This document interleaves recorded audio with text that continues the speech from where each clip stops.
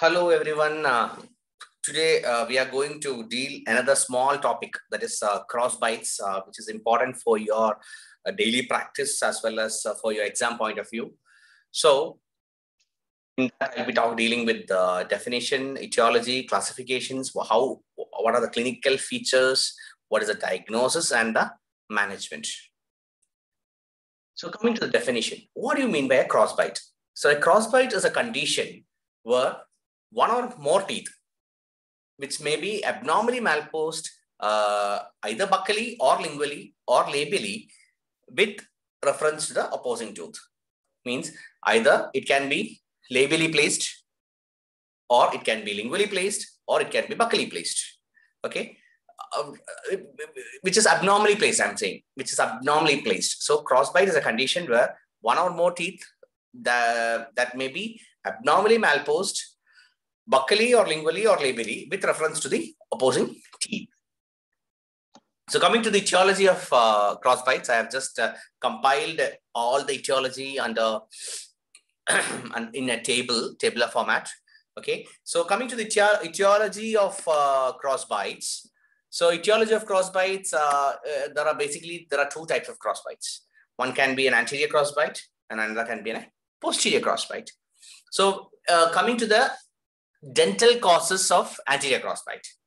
Okay, so either it can be a traumatic injury to the primary dentition that caused lingual displacement of the permanent uh, tooth but In your traumatic injury, you might have, uh, uh, you know, uh, heard about intrusion when a child is falling down and the teeth is going inside. And imagine that uh, your uh, upper central incisor position is changed. It has pushed lingually. So what happens? It will erupt on a deflected way of path of eruption. So the persistence, uh, persistence of deciduous tooth will be there and a palatal deflection of its erupting successors also will be there. So that will lead to a condition called as single tooth crossbite. Means you might have seen only one tooth is behind the uh, or palatally placed uh, one tooth will be there. So that is one cause. Second cause is supernumerary tooth. Imagine there's a supernumerary tooth in the path of eruption of the central incisors. So obviously what happens? The incisors will deflect the path and erupt down. A, a habit of lip biting or uh, lip biting of upper lip, upper lip biting is there. Then in cases of cleft lip palate repair cases, then if there is a case of arch inadequacy, means imagine a constricted arch and you don't have any place for the tooth to erupt. So what will happen? It has to come behind. So arch length inadequacy causing lingual deflection of the permanent tooth during the eruption. So these are the dental causes of anterior crossbite. Now, going to the skeletal causes of anterior crossbites. First, we'll deal with the anterior crossbite, then we'll go to the posterior crossbites. Okay. So, uh, in anterior crossbite, coming to the skeletal causes, it can be genetic. Okay or due to the deficiency of uh, anterior growth of the maxilla, imagine the maxillary growth is less and the mandibular growth is more. So the you can you might have seen uh, you know uh, a person with a long chin, chin is going ahead. Okay, so because of the deficiency of anterior growth of the maxilla or an excessive growth of the mandible, it can be in two ways, or it can be the combination of both. So either it can be genetic or deficiency of anterior growth of the maxilla or excessive growth of the mandibular growth or the combination of second and the third condition. Next is the functional crossbite. Okay, or you can see a pseudo class 3 crossbite. That is because of the habitual forward positioning of the mandible. Means imagine that the central incisors are early, uh, at a very early age, the child has lost the central incisors. What happens to get an attain an occlusion? What, what he'll do? He'll be keep take them, he'll take the mandible forward Okay, so the habitual forward positioning of the mandible to obtain maximum intercuspation, which may lead to the anterior crossbite. So that is called as a functional crossbite. Means because to perform the function, he has taken the mandible forward, and that that is how that crossbite is developed. So these are the etiology of anterior crossbite. Now coming to the etiology of posterior crossbite. Posterior crossbite, the simple thing, prolonged retention of uh, primary tooth. So if there's a prolonged retention of uh, then I'm just talking about the dental causes. If there's a prolonged retention of the primary tooth, then automatically there will be deflection of the uh, posterior tooth and uh, that will that will erupt lingually or uh, uh, you know palatally. Then uh, ectopic eruption of the permanent first molar, prolonged thumb sucking habit.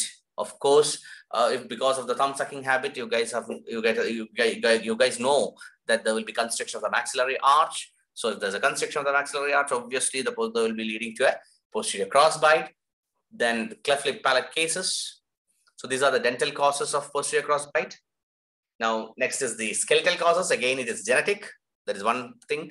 Then due to the deficient lateral growth of the maxilla, in that uh, first, uh, in the anterior crossbite, it is the anterior growth of the maxilla. Whereas in posterior crossbite, the lateral growth, both the sides if it is not growing properly. So in cases of cleft lip palate cases, there will be decreased uh, stimulation of uh, mid-palatal suture. So there will be decreased maxillary growth. So most probably the chances of, uh, you know, the lateral deficiency growth of the maxilla will be most commonly seen in uh, uh, cleft lip palate cases. Then excessive abnormal mandibular uh, mandibular growth laterally means again, the mandible is growing laterally more or if the combination of the two things. Functional crossbites in that unilateral crossbite due to the occlusal interferences. Imagine that, uh, you know, uh, canine prominence is more. Okay. So in order to avoid that, he's deviating the jaw to one side and then bite. So uh, due to the occlusal interferences, deviation of the mandibular jaw during, during the closure. The, during the closure, you can see the mandible is, uh, you know, to, to relieve the occlusal interferences, he'll try to shift the mandible. So these are the etiology of posterior crossbites. Now, how do you classify crossbites? So based on the location, you can classify it as anterior crossbite and posterior crossbite. According to the number of teeth involved in anterior crossbite, it can be single tooth or segmental crossbite. So the anterior crossbite is done there. Now, according to the number of tooth involved, it, uh, in the posterior crossbite, it can be either single tooth crossbite or segmental crossbite. According to the side involved, it can be unilateral or bilateral. And according to the extent, it can be single posterior crossbite, buccal non-occlusion or lingual non occlusion type of crossbites. Then based on the etiological factors, crossbites can be classified under three headings. That is either skeletal crossbite or a dental crossbite or a functional crossbite. Now coming to the clinical features of uh, anterior and posterior crossbites.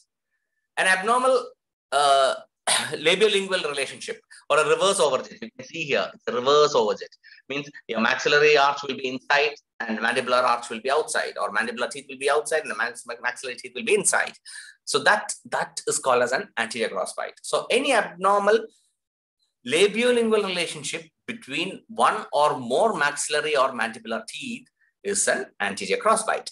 Or you can say it's as a reverse overjet. Whereas in posterior crossbite, you can see here, this is a posterior crossbite here.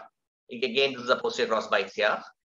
An abnormal buccolingual relationship of teeth in, in the maxilla and mandible when two dental arches are brought into centric occlusion. Means imagine that the two upper and lower arches in centric uh, occlusion, but there will be an abnormal buccolingual relationship of the teeth in the maxilla and mandibular arches will be there. That is that's, that's what's called as a posterior crossbites. Now, coming to single, what do you mean by single tooth crossbite and what do you mean by segmental crossbite? Single tooth crossbite, you can see very well. Only one tooth is there in crossbite. Only one particular tooth is there in crossbite. Okay, that's called as a single tooth crossbite.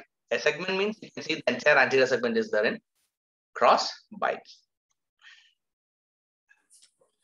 Now coming to the unilateral crossbite and the bilateral crossbite, you can see unilateral crossbite means you can see here only in this particular area.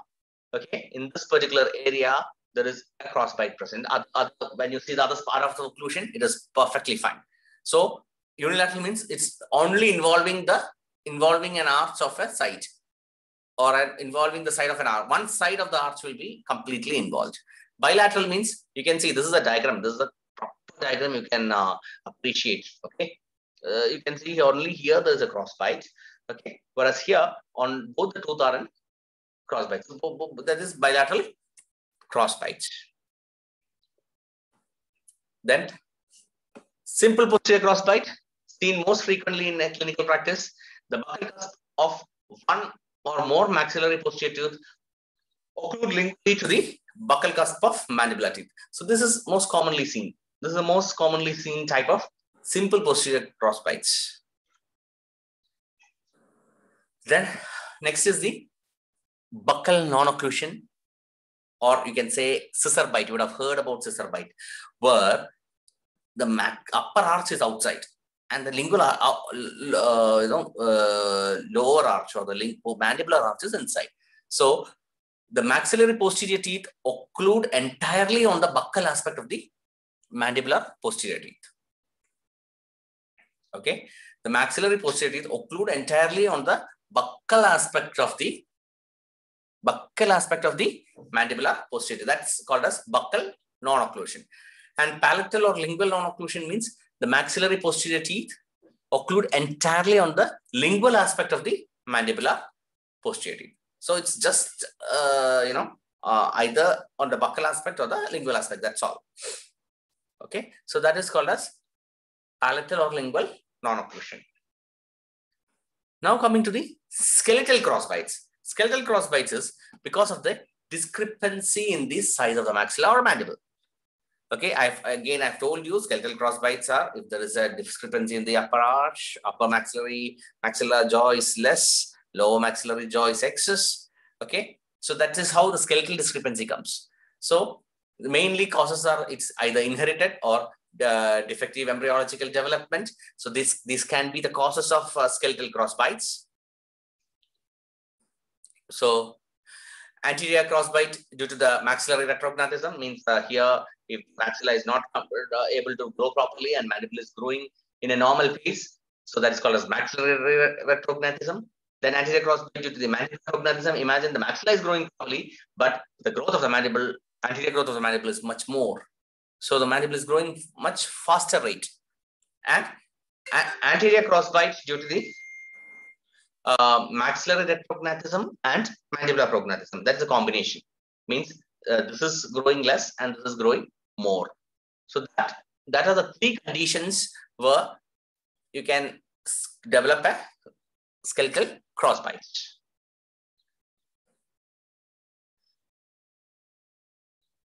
Then the dental crossbites, the causes of dental crossbites, which we have already discussed uh, in detail, and functional crossbites also we have already discussed in detail. So coming to the diagnosis. So diagnosis, first you need to take an history and see whether to you take an history and see whether it is because of a skeletal deficiency the child, person has developed a crossbite or it's because of the uh, you know dental uh, problem the person has developed a crossbite. So history from how long he's seeing, whether the new tooth has developed and he has developed a crossbite, all those things you need to ask. Then you have to examine clinically whether it is whether it's a skeletal crossbite or a dental crossbite, and you have to do a model analysis uh, to evaluate whether you have having sufficient space to accommodate the tooth in the arch. You need to gain the space, or you need to expansion. All those things you need to get into.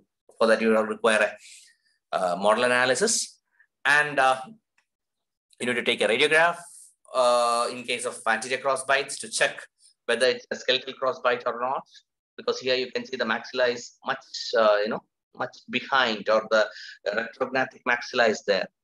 So it's a, a, a skeletal crossbite. It's high, it shows a skeletal crossbite here.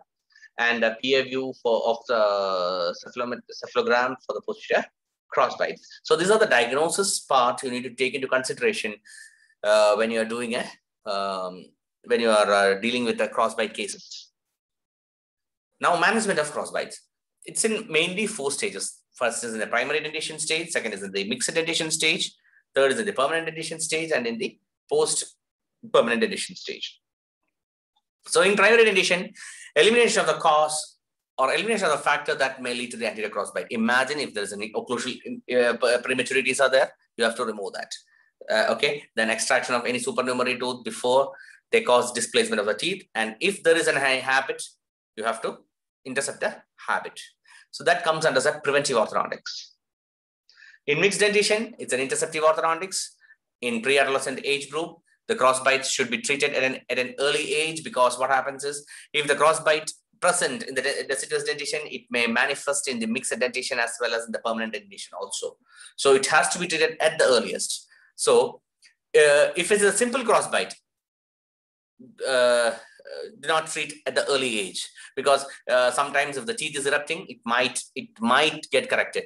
So it may progress into a skeletal malocclusion at a later and need complicated orthodontic treatment or a surgical treatment. Then comes your management.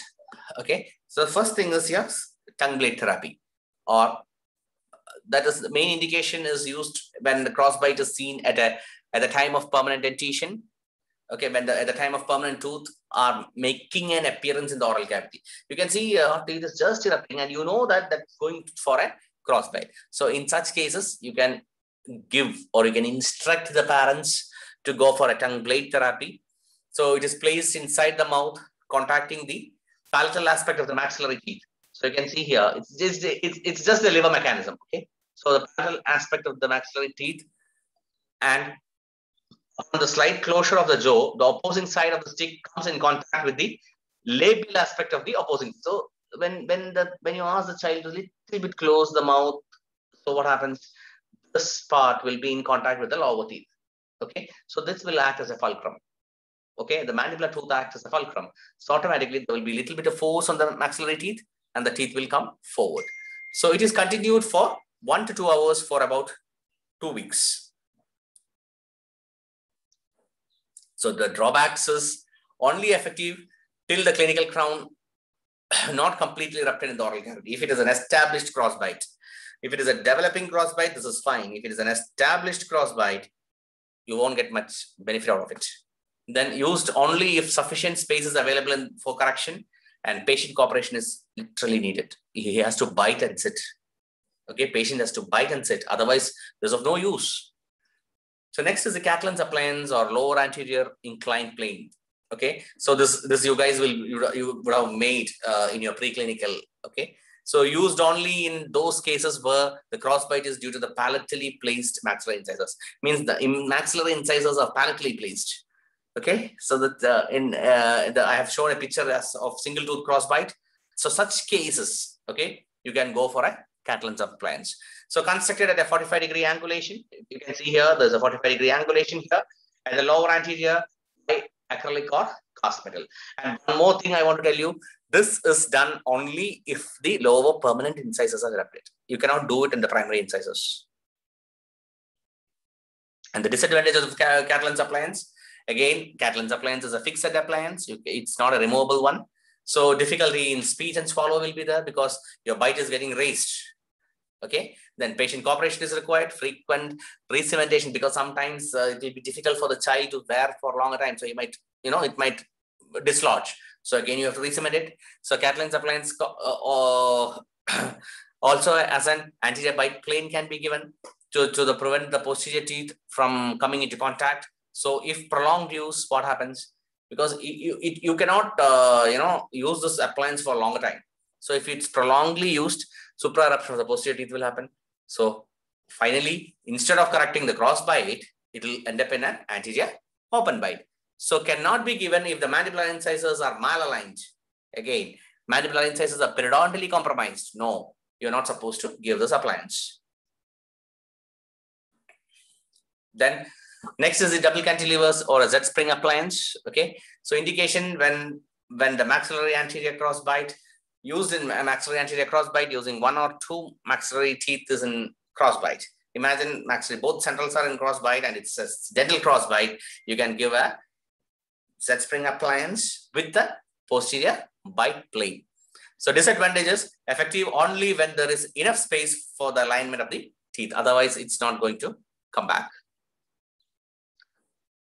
Next is a screw appliance. So they can use micro, mini or medium screw or a three dimension 3D uh, screw can be used. You can see here, it's a small screw is being placed there. So what happens is once you activate the screw, automatically the tooth will start moving towards the activated side. And one more thing, for all this appliance, one thing is that you have to raise the bite because the tooth will tooth movement will happen only if the bite is raised. So you have to see that is mandatory. Cross bites correction means you have to raise the bite. Or you have to give a bite plane. So till now, I was talking about, uh, you know, correction of the dental cross bites. Now comes the correction of skeletal crossbite. You can see very well in that the picture itself says, okay, the child's uh, mid face is literally gone in. Okay, so you have to go for an orthopedic appliance. Okay, so uh, for the correction of uh, anterior crossbite, imagine that it's a skeletal crossbite. So indicated to correct the skeletal anterior crossbite due to the actual skeletal deficiency of the maxilla. So what you can do is you can give a protraction face mask or a reverse headgear. So it will allow, uh, and uh, if the maxilla is narrow, automatically you need to expand the maxilla. How you can expand? I, I hope you guys are familiar with the term RME, that is rapid maxillary expansion. Uh, RME screw also used for the transverse expansion means you can literally expand the maxilla and get the maxilla forward. You can give, you can go for a Frankel 3 appliance, uh, then chin cap therapy. If the maxilla is proper and the mandible, you the, the anterior growth of the mandible is more, so then you can go for a chin cap therapy used to correct or prevent the anterior crossbite due to the prominent mandible. And the chin cap appliance uh, rotate the mandible backwards and downwards. Then in permanent dentition, you can use all these things the mini screws, medium screws, all those things can be used. And fixed therapy, of course, you know, uh, used to correct the multiple, uh, correct the single tooth or a multiple tooth crossbite in the permanent dentition. So in post-permanent dentition, what I say is in surgical correction. Imagine that the active growth is completed and the child is coming to you or patient is coming to you saying that my bite is like this. So you have to go for a surgical orthodontic therapy.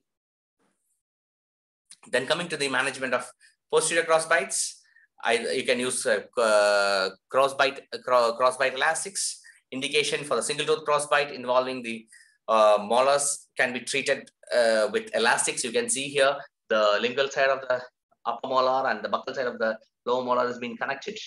Okay, so elastic is stretched between the maxillary surface of the and the mandibular buccal surface.